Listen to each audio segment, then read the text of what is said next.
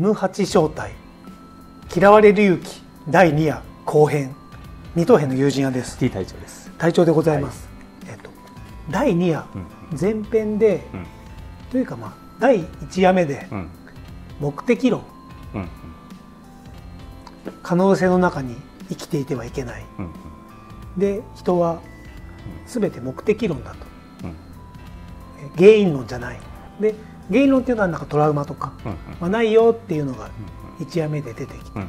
2夜目の前半も、うん。まあ、その続きでうん全ての悩みは対人関係だようん。っていうのが出てきて劣等感じゃなくて劣等コンプレックスだよ。うん全ての悩みは対人関係であるっていうのは、まあ、人がいて初めてうん。悩みっていうのが生まれるよ生まれるよっていう話をしてで劣等感っていうのは主観的な思い込みだと。うん。自分がそれをどう思ったかでうん。客観的な事実じゃないようん。例えば僕が僕はハゲていると思っている。そでも でもそれはう。ん主観的な思い込みでいやいやこの客観晴れてるからいけてないみたいなことですよね。あそう。だしその僕がそうなんですよ、うん。うん。ハゲているからモテるわけがない、うんうん。と思うのは、うん。これはで主観的な思い込み。劣等コンプレックスで、うん。ハゲをあんまり気にしないっ うん。ていう女性もいたから結婚できた。別に「えハゲだから何?」とか、うんうんって思う人もいるんですよねやっぱり、少ないかもわかかりにくいからいといて。あそのうんとハゲだからモテないっていうのがそね。モテないって。ハゲっていうのは事実じゃないですか。失礼だけどその通り。はい。はい、ででもあくまで青年はうん。目的論うん。がどうしても受け入れられない。うんだって僕ハゲてるからモテないに決まってるじゃん。っうんうん。ていうのをどうしても捨てられないんです、うんうんっていうのは青年はそのよくできる兄がいた。うんうん。で兄との比較でうんいつも「まあダメだね」みたいなことを言われたから僕はこうなってしまった。うんいやもしかそうやって育たなかったら違う僕がいたはずだ。うんうん。でも分かる気がしますね。わかる。そうそうなんですよ。だってハゲだからモテてなかったのって思いますしね、うんで要は目的論原因論どうしても青年はその原因論を捨てれないところから第2夜の後編が始まりますと。で、ま、前の動画ではその、あくまでもうん。鉄人はですねうん。あくまでも人との比較じゃなくてうん。自分の理想との競争だと。人との競争じゃない。うん。人とは対等であるみたいな。うん。綺麗事言うわけですよ。でちょっと今ごめんなさい。青年もう青年の気持ちがうん。痛いほどわかる。で、えー鉄人は言うんですよ。人から例えばうん。攻撃された。うん。メンバされてもうん。メンバされた時メンバっていうのはうん。面と向かって罵倒された時ですね。メンバされた時はその人が持っているん。目的を考えましょうと。要はその人も目的を持っている。で、うん。要はそれは相手が権力争うん。いを仕掛けてきてる。うん。それを目的にしてるよと、うんそれは勝つことによって自らの力を証明したいと思っている、うん。それはその優劣コンプレ偽りの優越とかあったじゃないですか、うん要は自慢するのも、うん下から不幸自慢するのも、全部そのけ力を相手をコントロールうんしようとしてきているよみたいな。で、えーそれに勝ったとしてもう、ん。負けた相手はうん次は復讐の段階にうん。来る。うん。だからその権力争いをうん。された時はうん。絶対に乗ってはいけないってうん。鉄人はきれい事を言うんですよ。この権力争い。はい、なんかマウンティングしようとするみたいなことですかね。そうですね。要は前に出た不幸自慢とかもそうですよ、要は弱い部分を出し、うん。うん。出すことで、うん。うん。俺の方がもっと不幸なんだ。そうそうそうそう俺の病気の方が重いんだみたいな。そう。うん。でやってきた段階それに乗っていくと、要はそのじゃあ不幸自慢をした時は不幸で勝った。うん。そしたらずっとその不幸を続けないとうん。勝ち続けれないわけじゃうんないですか、あまり健全じゃないですよね。健康になれないですね。そうなんそうなんですよ。で、うん。勝ち続ける要はその優越偉いでしょ？うん。ってやるのもそれが偽りだとしたらずっと苦しいみたいな、っていうので絶対に乗ってはいけないって、うんうん。まあ乗りたくなりますけどね。だから相手がこうマウンティングしようとしてきたら乗らってはい乗ってけないはいけない。こう。スルー、でそれをどうするかうん、っていうことが長いまだ。長い、まあでここですかね、まだそうなんでえ要は怒りという道具うん。にうん頼る必要はないよと。うん、バーッと言われた時にバーッと、で青年は「おう言われたらそんな喧嘩買えばいいんだ」と。相手を折ってやればいいんだよみたいなうんことを言うんですけどいや怒りも出し入れできる道具だっていうのは第一夜でもうん話をしたんですけどもの怒りっていう道具をに頼る必要はないと。で人は対人関係の中で私は正しいのだって確信した瞬間にうん。それはすでに権力争いにうん足を踏み入れているのです。うん。うん。って鉄人は言います。であなたが正しいと思っているんであればうん。それは他の人がどんな意見であれもうそこで完結すべきだ、これちょっと難しいですけどね。だって相手は言ってきてるわけじゃないですか。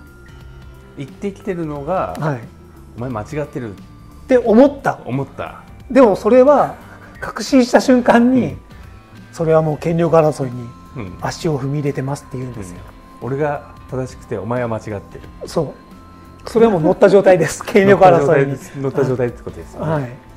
でえっ、と難しいのは言われた時に、じゃあどうすりゃいいんだよって僕もうん。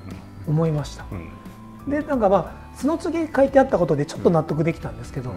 誤りを認めること。うん謝罪の言葉を述べること。うん。権力争いから降りること。うん。これらはいずれもうん。負けではありません。うん。難しいですけどね。難しいってそう。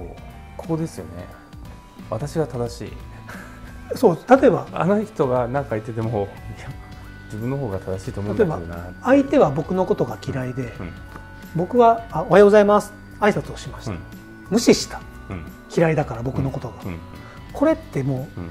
いやおめえ挨拶しろよ。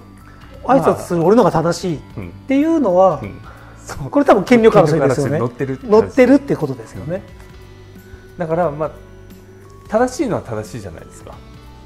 まあそういう場面であっても挨拶してきたらするっていうのはこう道徳的に正しいというか。でもこれがねちょっと後でまた居酒屋でこれはちょっと話をしたいんですけど、まあ一旦このアドラーのこの本の流れに乗ります。で、えー、と他者を敵とみなし仲間だと思えない。っうん。ていうのはそれはその幸、えー、と勇気を手放して人生のタスクから逃げてるんです。で新しいワード人生のタスクっていうのが出てきます、うん。ここで。で人生のタスクをうまく活かせるにはうんアドラー心理学的に行動面と心理面の在り方で目標を掲げていると、うん。人生のタスクをうまくいくための目標とは行動面では自立すること。うん。に社会と調和してうん。暮らせること、まあ、確かにこのあごめんなさい。今雑談に入っちゃいました。えーとうん。心理面では私には能力があるって思うこと、うんで心理面の2つ目は人々は私の仲間である。って思うこと。うん。で鉄人は解きます、アドラーはそこで、えー人生のタスクと向き合うことでこれらの目標が達成されると、うん。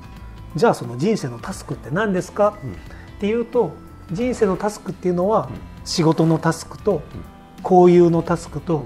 愛のタスクだと。っていう個人がうん。社会の中で社会的な存在で生きていこうとするときに直面するのは対人関係だ。と。なんでまあ今日この第2章っていうのはそのうん。全ての悩みは対人関係であるうん。っていうところなんですけどもあその対人関係がうん。それが人生のタスクです、直面する対人関係が人生のタスクです。だからその仕事も交友も愛も全部人と関わってるでしょみたいな。ででも人って変わりませんよ。他人人を他人を変えることはできない。アドラー心理学とは他者を変えるための心理学じゃなくて自分を変えるものですと。でも自分が変わると相手も変わるでしょって。綺麗事をね。綺麗事をね言うんですよちょっと今青年が入ってきてますよ。青年が。青年が。でまあ一番難しいのは愛のタスクだと。でもまあその愛っていうのはここでさらっと言われていたのは人はこの人と一緒にいると自由に振る舞える。と思えた時に愛を実感することができる。なんてことを言ってます。で、えーまあ、そういった仕事も交友も全て人との社会的な存在の中で関わることなんですけどもそこから逃げてはいけないと。一番いけないのはこのままの状態で立ち止まることだと。で例えばその無視した状態無視してる人とか私が「てめえ挨拶しろよ」って思った。っていうのも、まあ、嫌いっていう思い負の感情。これもあなたが持ち出した目的論だよって言うんです。要は嫌いになるためにあなたは嫌いな部分を見つけに行ってる、これちょっと確かになんです。嫌いそう嫌いでいるために。そう。嫌いで続けるために、あなたはその嫌いな部分を探しているって言うんですよ。ちょっとぐぬぬって。ぐぬぬが出ましたけどね。例えばすごい好きな人好きな人っていうか仲のいい人はいはい。こう挨拶したらたまたま返事がなかったりしてもそんなムカッと来なかったりするじゃないですか。全然好き好きなんですよ。好きなとこしか見てないです。見てないはい。まあそういうこともあるよねみたいな。ああさらっといきますよね。はい。っていうでその人だとこう細かいことも気になったりするそうあのもう嫌いだ髪型のあそこが嫌いとかうんうん あの靴なんだよとうんうんか、うんそういうところですよね。自分の嫌いなところを見つける。で、アドラーはうん。そういった口実でうん。人生のタスク。うん人生のタスクうん。からうん。回避するこの人生のタスクから目をそらすことをうん。人生の嘘と呼んだと。